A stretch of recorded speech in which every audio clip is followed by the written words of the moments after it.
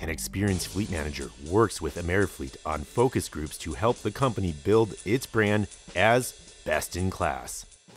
Basically, um, back in uh, 2011, I guess it was, um, I decided to go ahead and retire from the fleet industry, uh, being a fleet manager, and I approached John uh, Norris regarding maybe working for him in some capacity. Um, and after the St. Louis um, the St. Louis conference with NAFA, I went and John and I got together and we came up with a, uh, a plan for me to help them get the voice of their customer.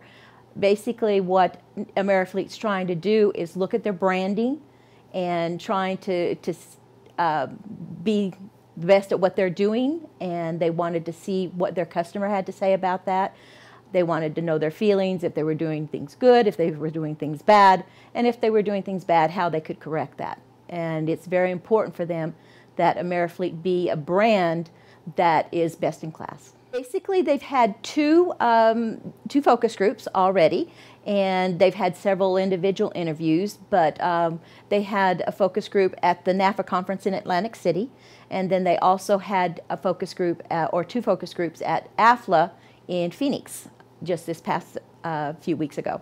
And basically, what they wanted to take from those and garner from those is, as I said, the voice of the customer, what was going right, what was going wrong, and then they were going to come up with uh, some feedback to those customers.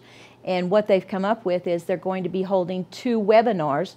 John Norris is going to, uh, John Norris and Steve Gibson are going to moderate those, uh, and they've invited those people that were attending at the focus groups and also the individual interviews for them to uh, say, okay, we've heard you, this is what we heard, is it right, and this is what we're doing about it.